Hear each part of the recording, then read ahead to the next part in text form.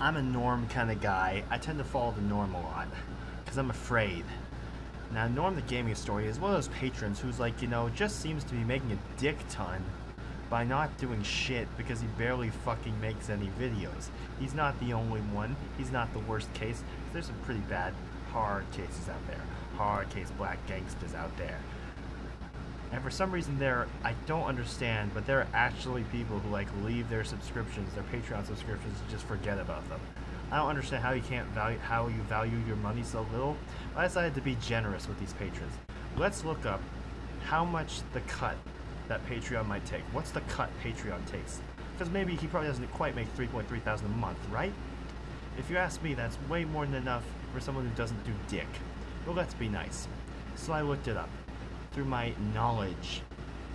Where's the fucking thing? Okay, well, basically, this might not be entirely up to date, but two years ago, Sexy Boy, assume I have a thousand patrons at five dollars each.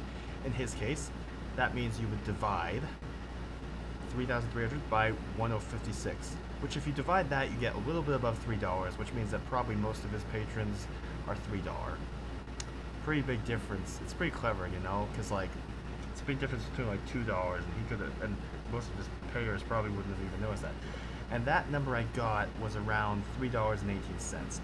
Then you take that plus 30 cents, maybe the 30 cents fixed fee is different, but basically you take 0.29% of 318 and um, add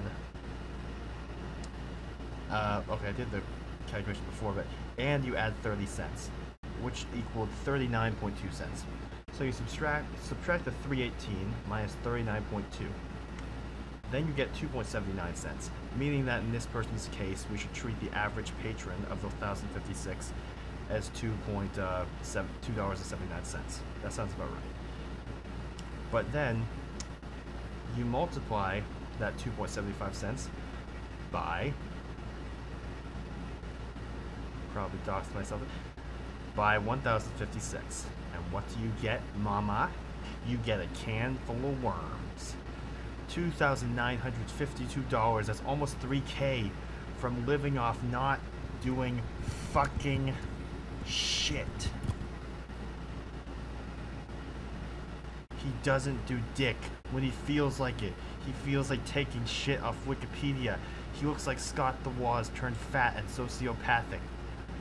Four months ago, six months ago, seven months ago, eight months ago, you fucker, 11 months ago, one year. He really doesn't make them that often.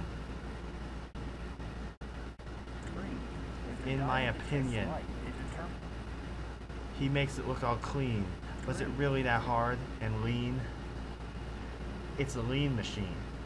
And another thing I noticed about a lot of these Patreons too, is that they love to like go for a while without doing shit and then start doing shit to make it look like they've always been doing shit. So yeah, like what I should be seeing here is two years ago, like once a month. You don't see that, mama. You don't see that, baby. Seven? Oh, impressive. Oh, I didn't even know this. A lot of these are way shorter. He doesn't give a fuck about consistency or being a so-called professional. Apparently he has time to study history because he's a little boy.